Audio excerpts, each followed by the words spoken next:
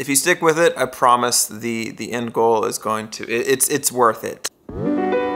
It's so dark this morning. I don't know why. Um, it's uh, it's six o'clock, and I get up at six o'clock most days, but it just it feels so much earlier than it actually it actually is. I, I am not sure why. If you follow me on Instagram yesterday, then you know that I ran 21 miles, and that is by far the longest. That's the longest that I've ever ran, um, like ever.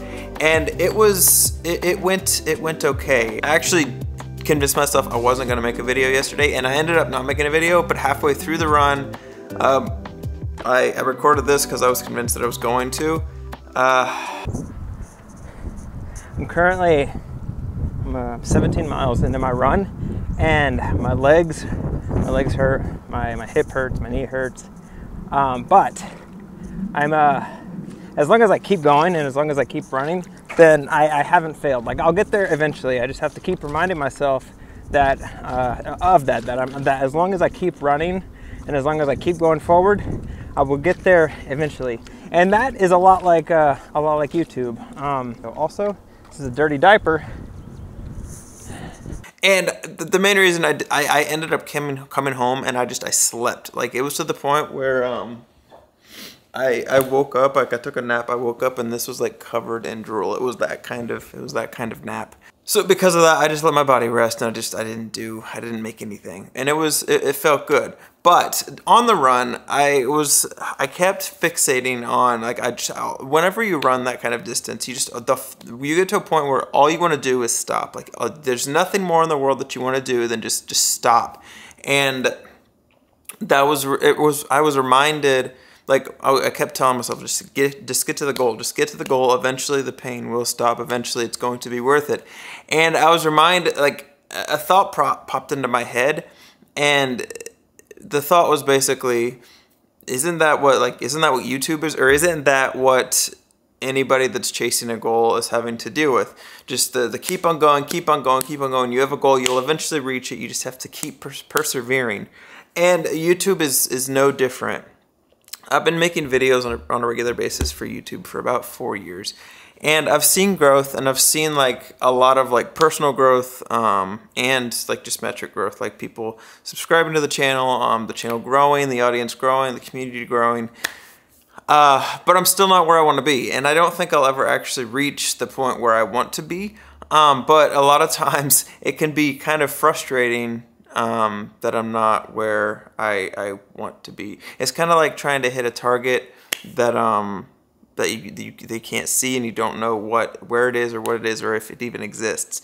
And basically, what I'm trying to get at with with all of this rambling at freaking six in the morning is if you're trying to do YouTube or if you're trying to hit a goal, you're almost there. Like you you just have to keep going and you'll um, you'll hit it you'll get it. You'll get there. You just have to keep going. And you do. You, there's a quote that I really, really love, um, and it's it's so true. And you only the quote is you only fail when you give up. If you haven't given up yet, you, are not going to fail. You haven't failed, and that's true. Just because what your goal is or just because you haven't reached that goal or you haven't it hasn't it hasn't become the what, what you thought it was doesn't mean that you failed that just means that you're you're still in the process of getting there and even if you get there or when you get there um chances are it's not going to look anything like you thought anyway so all that to be said um if you if you're feeling discouraged if you're feeling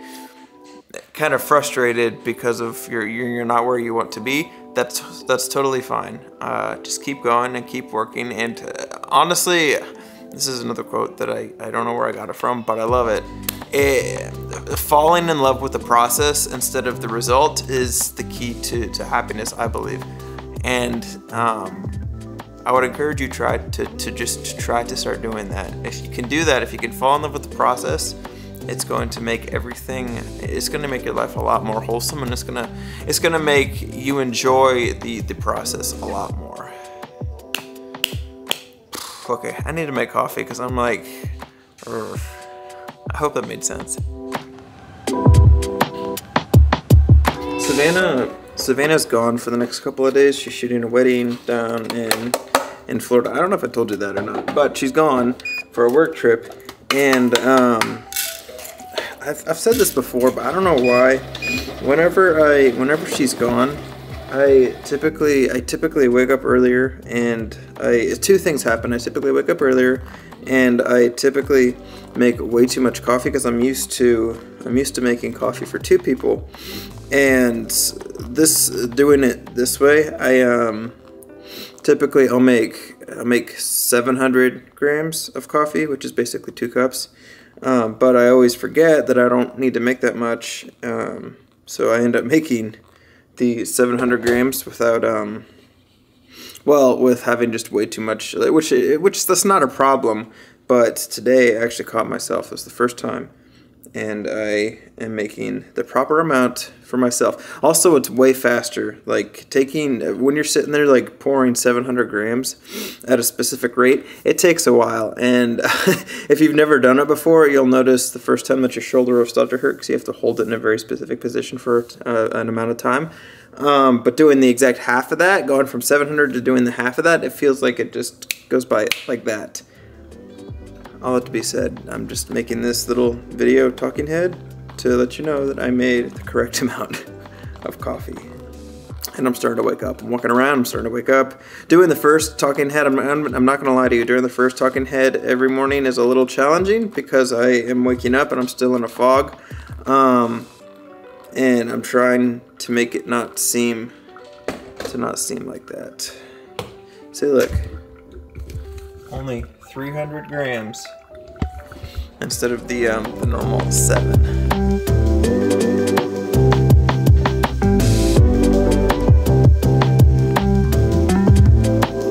One thing that I've learned being self-employed for mo most of for most of my professional adult life uh, I, have learned to take joy and to celebrate the small, the small victories. Having having big, ambitious goals is, is important. I would say it's it's it's critical to being like self-employed or or whatever. But also, I think on another like on the other the side of the other side of the coin, it's it's important to have small, attainable goals that you can get uh, today or within a week um, that help contribute to getting to that that uh, more ambitious or bigger bigger goal. Because I feel like with with being self-employed and where where you run the risk of being discouraged or you run the risk of, of just kind of stopping and finding something else is when you don't see the progress. You don't start seeing like the steps that you're taking to get closer to whatever whatever that may be. Whether that's having like a full-time like YouTube thing or having a lot of subscribers or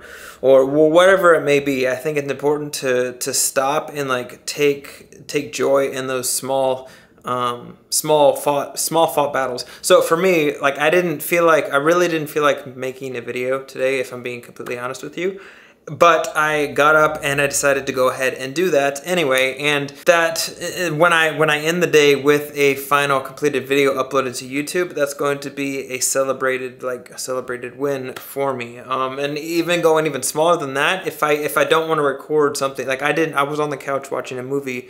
Uh, two seconds ago. The last thing I wanted to do was come in here and talk to you about about really anything. Um, and this is just me being honest. At any event, uh, the fact that I'm in here shooting something, talking to camera, that, that that's a win. Um, so I, I even go as far to like celebrate when I shoot or pick up the camera. And another thing that really helps me too, I just, just thought about this, but the, another thing that really helps me too is uh, when when I don't want to record something, I, I, think about the, the kind of gear that I get to use and the gear that I actually, I, I really do love. I really do enjoy this camera setup and it's probably my favorite camera setup to shoot on. And typically for me, um, that's just, that's another way to like kind of force myself or get myself encouraged, encouraged to, um, to, to shoot something. I hope that makes sense. Another one is also movies but that also like is like that's like a double-edged sword. Like some movies like i'll be really inspired and want to like help i want i want, I want to like include that in my style but also at the same time if the movie is really good then i don't want to do anything but watch that movie. So um, the, the gear thing's kind of like it's it's more of a it gets me up more the more percent more of a percentage than uh than the movie thing savannah is coming back tomorrow um, meaning that I'm gonna have to clean up the the the apartment today. I, I don't know what it is or how I have like a if I if if making an apartment messy was a superpower, I definitely would possess that superpower. I literally didn't do anything yesterday, and it's just, it's a complete mess. Like I'm gonna have to clean up uh, pretty much the entire the entire apartment minus this office because uh, I haven't really been in here. Although the only mess in here is on that couch, and that is um that is my mess.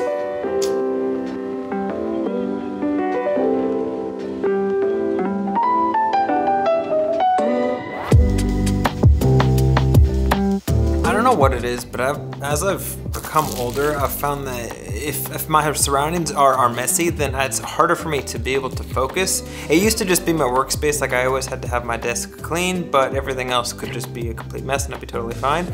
But as I'm getting older, I'm real I'm starting to realize that that habit is starting to come from just the desk to the room that it's in and now it's to the living room and it just it it doesn't mean that it, like everything has to be perfect. It just means that things like can't things like if I prefer if things aren't on are on the floor. That might be a sign of me maturing. I, am not I'm not completely sure. Uh, although Savannah would argue that I don't really do it until it bothers me, which which is true. Um, if it doesn't bother me, then I have no issue with it. But the second that it bothers me, it needs to be picked up and uh, taken care of right then and there. And also once I once I start, then it's easier to, to keep going. Um, and it's it's not as hard to, to keep to keep picking things up. Much like doing YouTube or doing any other, like how I tied that, all that together that ties in nicely. I didn't do that on purpose. And uh, just before Savannah left, she made me a couple of loaves and bagels um, of like bread, and uh, this is all that's this is all that's left. While she's gone, I literally all I eat is the bread that she makes me, and then egg sandwiches and that's that's pretty much pretty much it. Which I'm totally fine with. I keep telling I keep telling myself that I'm not gonna work on this couch and that I'll work either in our office over there or at our little breakfast bar table area. It's just when I get set up here and then I have the big TV going, I can just watch TV as I I keep telling myself that I'm not to do this because this is this is uh, not the most comfortable for long-term things, but uh, for short-term